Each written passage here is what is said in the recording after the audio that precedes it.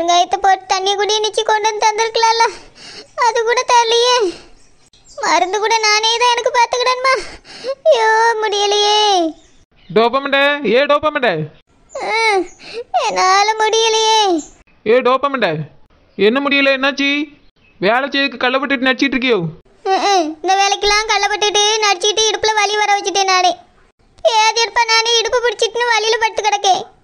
மூச்சு கூட வேகமா இழுக்கவும் முடியல விடவும் முடியல என்ன வலி வலிக்குது? இடுப்பு பிடிச்சிருக்கக்கு எப்படி மூச்சு விட முடியாம இருக்கோ என்ன நடிக்கிறியோ? நீ போய் சொன்னா நான் நம்பிடுவேன்னு பார்க்குறியோ?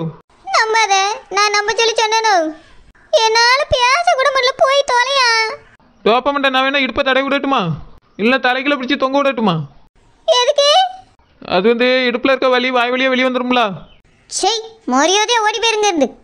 ஐயோ அம்மா வலி தாங்க முடியலையே கோவம் கூட பட முடியலையே வலி தாங்க முடிய மாட்டேங்கி என் புருஷனுக்கு போன் பண்ணியா அவருக்கு எதுக்கு ஃபோன் பண்ணணும் அந்த கிளவிட்டு அத்தனை தடவை சொல்லி விட்டுன்னு வந்து வாட்ட சொல்லலையா? எந்த கிளவிட்ட டோப்பமெண்டே அம்மா அந்த மாமியார் கிளவிட்டதா? சொன்னாலும் சொல்லியிருப்பா டோப்பமெண்டே என்னையா சோர் பங்கு சொல்லிட்டாவில அதனால எதையுமே கவனிக்கல டோப்பமெண்டே ஏதியல் பையன் புருஷனுக்கு போன போட்டு சொல்லி என்னை ஆஸ்பத்திரி கூட்டிட்டு போய் சொல்லணும்? அப்படியே ஆஸ்பத்திரிக்கு போகிற அளவுக்கு முடியலையோ? ஆமா இடுப்புல பிடிச்சிட்டு இருக்கு. என்னால எழுந்து நிக்கவும் முடியல நடக்கவும் முடியல உட்காரவும் முடியல. டோப்பமெண்டே ஆஸ்பத்திரிக்கு போகிறதே போகிறா அந்த சோத்தை மட்டும் பொங்கி வச்சுட்டு போயான். சரி உனக்குலாம் மனசாட்சி இருக்கா மண்ணங்கட்டி இருக்கா? என் முன்னாடி ஒரு நிமிஷம் கூட நிக்காத ஓடி போயிரு. இல்ல என் இடுப்பே ஒடிஞ்சாலும் பரவாயில்ல பறந்து பறந்து அடிப்பேன் பாத்துக்க. டோப்பமெண்டே அடிக்க மட்டும் முடியுது சோறு குழம்பு பார்க்க முடியாதா? எம்மா எம்மா டோப்பமெண்டே அத்தை சிக்கன் வேறு வாங்கிட்டு வரக்கு போயிருக்கா டோப்பமெண்டே அதை எப்படி சமைக்கணும் கொஞ்சம் சொல்லியா தாயான் ம், சிக்கனை சட்டியில போட்டு தண்ணி ஊற்றி அவிச்சு ஆளுக்கு ஒரு கிளாஸா குடிங்க அம்மா வலி தாங்க முடியலையே டோப்பமெண்டே அப்புறம் சாம்பார் எப்படி வைக்கணும்? பருப்பள்ளி போட்டு அவிச்சிட்டு எல்லாருக்கும் ரெண்டு கரண்டி கோரி ஊத்து. ஏய் என்னப்புல இப்படி சொல்லியா? நீ சாம்பார் வைக்கும்போது காய்கறி கடுக்கலாம் கிடக்குமா அதில் அதே அள்ளி போட்டு அவிச்சு ஊத்து. என்னால முடியலையே இது வேற தொல்லை தாங்க முடியலையே. டோப்பமெண்டே சிக்கனில் வெறும் தண்ணி மட்டும் ஊற்றி அவிக்க விட மசாலாலாம் போட்டு தானே செய்யணும்? அதான் நீனே சொல்லியெல்லாம் அள்ளி போட்டு அவி போயா என்னால முடியாம தான் படுத்து கிடக்க போங்க இருந்து நல்லா இருக்கும்போது என்ன செய்யணும் வந்து கேட்க மாட்டேன். பியாத்தில போய் என்னையே வேலை வாங்கிட்டு படுத்து கிடப்பா. இப்போ நானே முடியாம எனக்கு என்னை வந்து உயிரை வாங்கியா? முதல்ல புருஷனுக்கு போன போட்டுட்டு போ. போடிய டோப்பமெண்டே நல்லா சமைக்கணும்னா யார்கிட்ட கேட்கலாம்? ஆ, செப்பு வெங்கடேஷ் பெட்டி சும்மா தான் இருக்காரு அவர்கிட்ட போய் கேளு. அப்படியா அவர் எங்கே இருப்பாரு? அவர் எங்க இருப்பாரு? விஜய் டிவில குக்கு வித்து கோமாளியில இருப்பாரு. விஜய் டிவி அது எங்கே இருக்கும்? டோப்பமெண்டே அட்ரஸ் மட்டும் சொல்லிடுறான். ஐயோ இனி சோதி கேளே ஒன்னையெல்லாம் மருமகனி கட்டி கூட்டிட்டு வந்து பீட்டிக்கிட்டு தெரியா பத்தி அவியில தான் சொல்லணும். மரியாதையா வெளியே பெரியல கல்லை தடிச்சு விடுவேன். ஒரு சமயம் உண்மையில டோப்பமெண்ட்டுக்கு உடம்பு சரியில்லையோ? அதுக்கு சமைக்க தான் முடியாது சமையலை சொல்லியுமே தர முடியாது. ரொம்ப தான் நடிச்சிட்டு படுத்து கிடக்கா. சரி இப்போ புருஷனுக்கு ஒரு போனை போட்டுட்டு செல்லம்மா சித்திட்டு போய் கேட்போம் சித்தி சித்தி. இது எதுக்கு நம்மள கூப்பிடியா? கேட்காத மாதிரியே படுத்துக்கிறானோ. கூப்பிட்டு வேலையாவனாலே ஆவா சித்தி சித்தி இங்கே தான் இருக்கீங்களோ சித்தி என்ன சத்தமையெல்லாம் படுத்துருக்காவ சித்தப்பா? என்ன? என்னம்மா? சித்தி உங்களை சித்தி சித்தின்னு கூப்பிட்டா உங்களுக்கு கேட்கவே மாட்டேங்க சித்தி. சித்தப்பா சித்தப்பான்னு கூப்பிட்டா உடனே கேட்குறது எப்படி? அது வந்துமா சித்திங்கிற வார்த்தையை விட சித்தப்பாங்கிற வார்த்தை தெளிவா கேக்குதுமா அதனால தான் அப்படின்னா சித்தி என்ன நான் உங்களை சித்தப்பானே கூப்பிடட்டுமா? வேண்டாம்மா நீ சித்தினே கூப்பிடு. என்னைய சித்தப்பான்னு கூப்பிட்டீங்கன்னா அப்புறம் சித்தப்பாவை எப்படி கூப்பிடுவா? அதனால என்னைய சித்தினும் சித்தப்பாவை சித்தப்பானும் கூப்பிடு சரியா? ம் சரி சித்தி. அப்புறம் சித்தி சரோஜாவுக்கு உடம்பு சரியில்லை பார்த்துக்கிடுங்க. வீட்டில் எல்லாரும் சாப்பிடணும்ல அதனால சமைக்க வேண்டியிருக்கு. நீங்கள் தான் சமைக்கணும் வாங்க சித்தி. என்னது? நான் சமைக்கணுமா? ஏன் சித்தி சமைக்க மாட்டீங்களோ? அது எனக்கு ஒரே கால் வலியா இருக்குமா? நேத்து அவ்வளவு தூரம் போயிட்டு வந்தேன் பாத்தியா? ஒரே கால்லாம் முளைச்சலா இருக்கு. அதனால நான் இதுலயே படுத்துக்கிட்டேம்மா நீ தான் நல்லா சமைப்பால போய் சமைப்போ. சித்தி பருப்பு அவிச்சு உப்பு போட்டு தண்ணி மட்டும் ஊற்றினா போதுமா சாம்பாருக்கு? காய்கறிலாம் ஏன் போடுவான் பருப்பு அவிச்சு உப்பு போட்டு வச்சா நாய் கூட திங்காது. ஒழுங்கா காயெல்லாம் வெட்டி போட்டு அவிச்சு சாம்பார் பொடி பெருங்காய பொடி உப்பு எல்லாத்தையும் போடு. சித்தி மஞ்சத்தூள் அதான் தெரியுதுல எல்லாத்தையும் போட்டு தாளிச்சு வை. சித்தி புளி உப்புலாம் போடணுமா? எல்லாம் போடணும். தெரிஞ்சுக்கிட்டே இருக்கு என்னைய வந்து சோதிச்சிட்டு இருக்கா?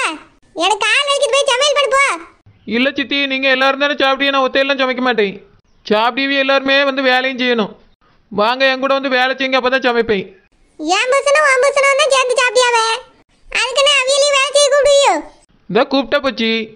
சித்தப்பா! குழந்தை எதுக்குமா அவியலெல்லாம் கூப்பிடுறா? அவியெல்லாம் வேண்டாமா நம்மளே செய்வோம். ஆ சரி சித்தி அப்படின்னா வாங்க. நீ முதல்ல போய் பருப்பி அரிசி அள்ளி தண்ணியில் போட்டு அடுப்பில் வைமா சித்தி நீங்களாம் எவ்வளோ சாப்பிடுவீங்க? எவ்வளோ சமைக்கணும்? நாசமா போச்சு இது கூட சொல்லணும்? அப்படின்னா சித்தப்பாட்டு கேட்கட்டுமா? ஐயோ வேண்டாம்மா எதுக்கு சித்த பாட்டெல்லாம் கேட்டுட்டு? அவி எனக்கு சமைச்சாவ? நானே உனக்கு அளந்து போட்டு தந்து எல்லா கையும் வெட்டி தருவாம்மா. ம் சரி சித்தி நீங்கள் ரொம்ப நல்ல சித்தி. வாங்க சித்தி போவோம். சரி பேரா போவா. இனி வேலை வாங்குறதுக்காகவே இங்க வந்து நின்றுட்டு சித்தப்பா நொத்தப்பாங்க. அந்த முக்காரியும் கூப்பிட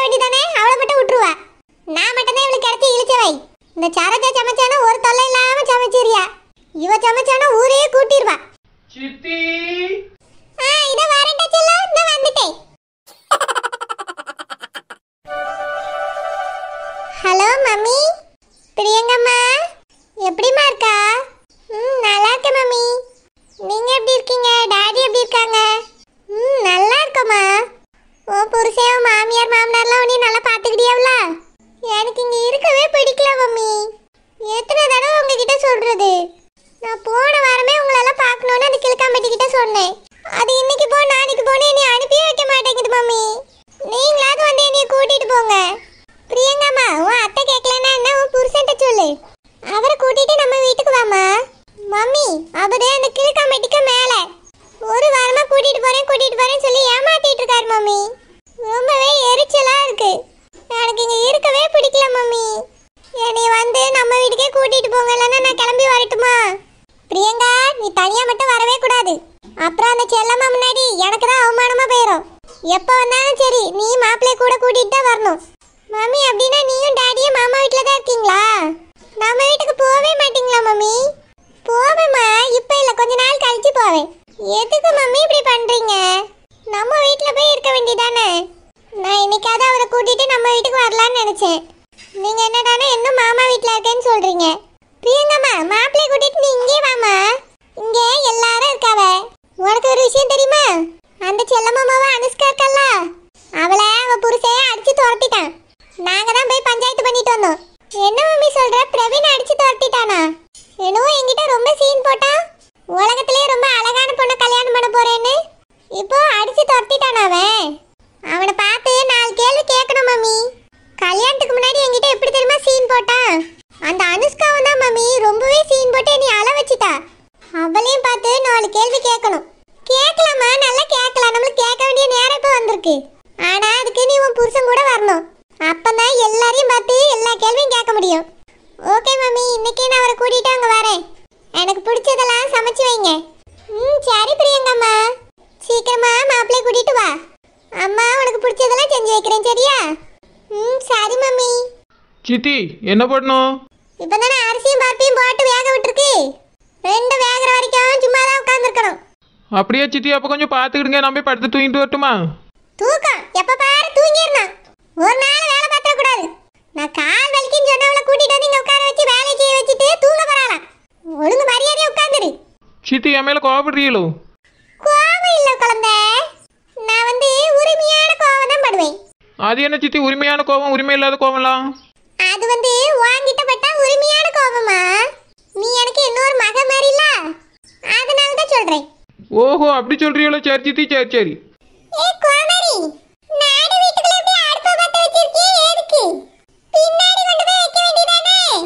எத்தேங்கண்ணா எல்லா சாமானையும் டக்கு டக்குன்னு எடுத்துட்டு வந்து போட்டுடலாம்ல. எனக்கு கொஞ்சம் நடக்கிற வேலை மிச்சமாக இருக்கும் அதுக்கு தான் தேய் அதுல நின்னு சமைக்க வேண்டியிருக்கலாம் அதனால தான் தேய்